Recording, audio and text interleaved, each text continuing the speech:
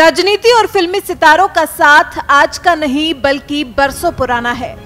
बरसों से कई अभिनेता, अभिनेत्री बड़े या छोटे पर्दे के साथ साथ राजनीति में भी अपना हाथ आजमाते आए हैं। कभी तो वो सफलता की सीढ़ी को चढ़ जाते हैं और कभी कभी सिर्फ़ नाम भर के लिए राजनीति में होकर रह जाते हैं। अभी लोकसभा चुनाव सिर पर हैं तो ज़ाहिर तौर पर कई सितारों का अलग अलग पार्टियों में आवागमन भी लगा हुआ है। भोजपुरी सुपरस्टार दिनेश लाल यादव उर्फ़ निरहुआ ने बीजेपी का दामन थामा। तो बड़े पर्दे की बेहतरीन अदाकारा उर्मिला मातोंडकर ने कांग्रेस का हाथ पकड़ लिया। लेकिन कांग्रेस का हाथ पकड़ते ही कांग्रेस जैसी ही टीका टिप्पणी भी शुरू कर दी। खुद को कांग्रेस की विचारधारा से प्रभावित बताने वाली उर्मिला मातोंडकर को उनका धर्म पूछे जाने से आपत्ति है और दूसरे के धर्म पर टिप्पणी करने से पीछे नहीं हट रही। कहते हैं कि जिनके घर शीशे के होते हैं, वो दूसरों के घरों पर पत्थर नहीं फेंका करते। लेकिन शायद इस कहावत से उर्मिला मातोंडकर अनजान ही है। तभी तो खुद का धर्म बताना नहीं चाहती, लेकिन हिंदू धर्म पर टिप्पणी कर कांग्रेस की नज़र में ऊपर उठना चाहती हैं। मुंबई उत्तर संसदीय सीट से कांग्रेस के टिकट पर चुनाव लड़ रही उर्मिला मातोंडकर की नज़र में हिंदू धर्म दुनिया का सबसे हिंसक धर्म है। जिसके खिलाफ मुंबई पुलिस में शिकायत भी दर्ज कराई गई है। बीजेपी कार्यकर्ता सुरेश नखुआ ने हिंदू विरोधी टिप्पणी करने पर उर्मिला मातोंडकर के खिलाफ शिकायत दर्ज कराई है और कहा है कि कांग्रेस अध्यक्ष राहुल गांधी के कहने पर ही उर्मिला मातोंडकर ने हिंदू धर्म के विरोध में ऐसी टिप्पणी की है। नखुआ ने सिर्फ़ मातोंडकर ही नहीं, बल्कि कांग्रेस अध्यक्ष राहुल गांधी और इंटरव्यू लेने वाले निजी चैनल के पत्रकार के खिलाफ भी पोवई पुलिस थाने में शिकायत दर्ज कराकर कार्रवाई की मांग की है। कांग्रेस का दामन थामने वाली उर्मिला मातोंडकर देश का विकास तो चाहती हैं और अपने विचारों को सर्वोपरि भी रखना चाहती हैं। अगर वो हमेशा से ही नेहरू, गांधी और सरदार वल्लभ भाई पटेल की विचारधारा से प्रभावित रही, उन्हीं विचारों के साथ बड़ी हुई तो फिर किसी और के धर्म पर टिप्पणी करना या उसको हिंसा का प्रतीक बताना उन्होंने कहाँ से सीखा? ये उनके अपने विचार हैं। या फिर वो नेहरू, गांधी और सरदार वल्लभ भाई पटेल को खुद का आदर्श बताकर फिर इस तरह की टिप्पणी कर इन्हीं लोगों के नाम को खराब कर रही हैं। कांग्रेस को ज़रूरत है तो एक बार फिर उर्मिला को पार्टी में शामिल कर लेने के बाद उनको कोई ज़िम्मेदारी देने से पहले उस पर विचार करने की क्योंकि अगर ऐसा ही रहा तो जो थोड़ा बहुत हिंदू वोट बैंक कांग्रेस के साथ रह गया है, वो भी अपना रास्ता बदलने पर मजबूर हो जाएगा क्योंकि भारतीय संस्कृति में धर्म सबसे ऊपर है और कोई किसी के धर्म के ऊपर उंगली उठाए, वो कभी कभी बर्दाश्त से परे हो जाता है, जिसका परिणाम फ़िलहाल कांग्रेस के लिए घातक साबित हो सकता है। आज मेरे लिए महत्वपूर्ण दिन दिन है, क्योंकि मैं आज सक्रिय राजनीति में अपना पहला कदम रखने जा रही हूँ। सक्रिय राजनीति कहने का वजह यह है, क्योंकि मैं एक ऐसे परिवार से हूँ, जिस परिवार में मेरी बचपन से थिंकिंग जो है मेरी सोच मेरी समझ परम पूज्य महात्मा गांधी जी पंडित जवाहरलाल नेहरू जी सरदार वल्लभ भाई पटेल इन लोगों के विचारों पे टिकी हुई है बनी हुई है। मेरी पूरी पर्सनैलिटी थिंकिंग ये सारी इनके ख्यालों पे निर्भर है। ये अलग बात है कि एक एकेडमिक ओरिएंटेड फैमिली से आके मैं फ़िल्मों में चली गई और um, uh, आप सबके बहुत सारे सहकार्य से और लोगों के बहुत सारे प्यार से इतनी बड़ी करियर तय कर पाई। लेकिन एक, कहीं ना कहीं एक सामाजिक तरफ़ का जो जागरूकता होती है, जो एक हर एक नागरिक में होना ज़रूरी होता है, ये इसकी समझ मुझे बहुत बचपन से मेरे माता पिता से दी गई थी। और मुझे ऐसे लगता है कि जिन लोगों ने हमारी इस लाखों मोलों की आज़ादी के लिए अपनी जान दे दी। उन्होंने हमसे, हमको उससे भी बड़ी एक चीज़ दी है। उसके बाद हमारे आज़ादी के साथ क्या करें उसे समझने के लिए, और वो है हमारा संविधान। ना मैं यहाँ चुनाव के चल, चलते मैंने पार्टी ज्वाइन की है, ना मैं चुनाव के ख़त्म होने के बाद पार्टी से दूर जाने वाली हूँ।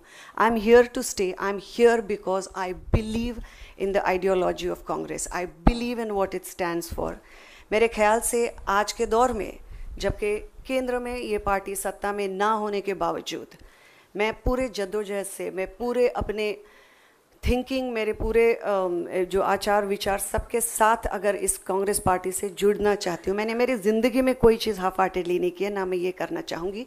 क्योंकि जब आप लोगों के बीच उनकी सेवा करने का अंदेशा लेके जाते हो तो ये बहुत बड़ी रिस्पॉन्सिबिलिटी होती है। तो मैं कहीं जाने वाली हूँ नहीं। नमस्कार। अशोक चौहान जी विजय वदितर वदितवर जी सुभाष धोटे जी नंदू ना, नागरकर जी हमारे कैंडिडेट्स सुरेश धांधरकर जी नामदेव सेंधी जी पार्टी के हमारे सब कार्यकर्ता यूथ कांग्रेस एनएसयूआई महिला कांग्रेस सेवा दल के हमारे सब लोग, एनसीपी के नेता, एनसीपी के कार्यकर्ता, भाई और बहनों, प्रेस के हमारे मित्रों, आप सबका यहाँ बहुत बहुत स्वागत। इतनी गर्मी में आप आए, मेरी बात सुनने आए, इसके लिए आप सबको बहुत बहुत धन्यवाद। और गुड्डी पाड़वा के लिए आप सबको बहुत बहुत शुभकामनाएँ।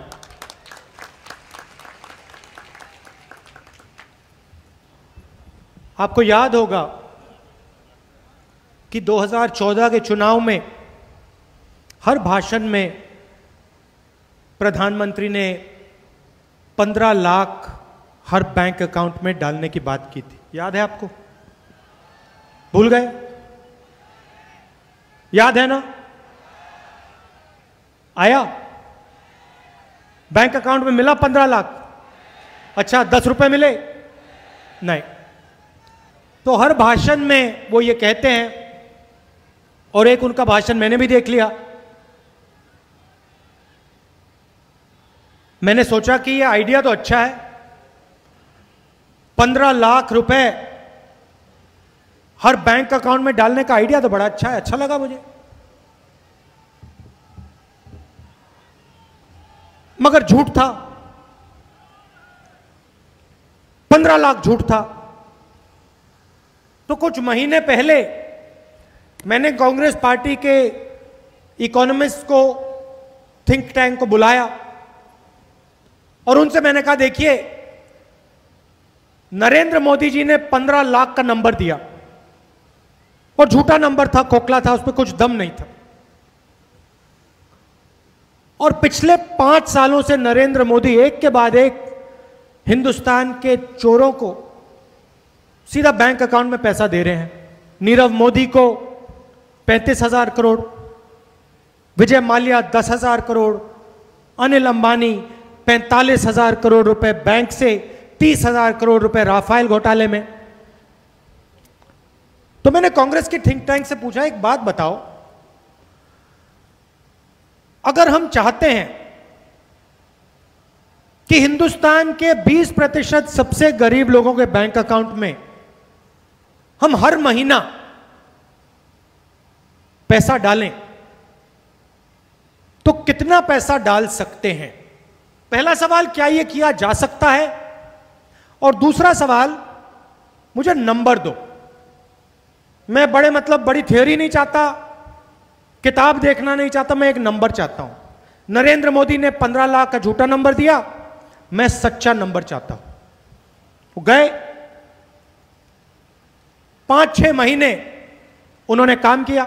मैंने उनसे एक और बात कही, हम अर्थव्यवस्था को नष्ट नहीं करना चाहते तो जो भी नंबर आप मुझे दोगे, उससे देश की अर्थव्यवस्था को फ़ायदा होना चाहिए नुकसान नहीं होना चाहिए। छह महीने बाद वापस मेरे पास आए। कागज़ पे उन्होंने एक नंबर लिख के मुझे दे दिया।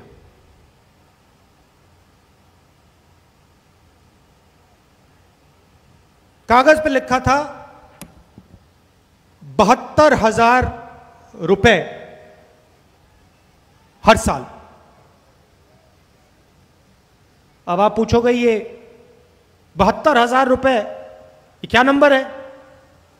और मैं आज यहाँ आपको बताना चाहता हूँ। इस नंबर को आप दूसरे तरीके से भी देख सकते हो। बहत्तर हज़ार रुपए एक साल में तीन लाख साठ हज़ार रुपए पाँच साल में। नरेंद्र मोदी ने पंद्रह लाख का झूठ बोला। मैं आपको तीन लाख साठ हज़ार की सच्चाई बोल रहा हूँ।